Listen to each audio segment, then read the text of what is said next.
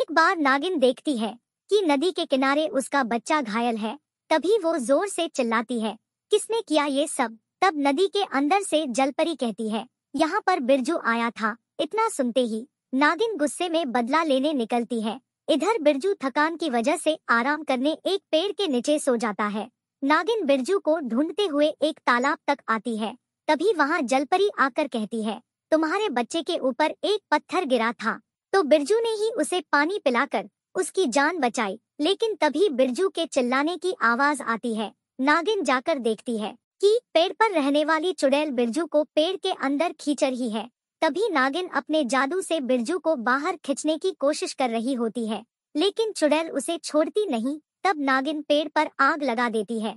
आग लगते ही चुड़ैल बिरजू को छोड़ देती है और नागिन बिरजू को खींचकर बाहर निकालकर बचा लेती है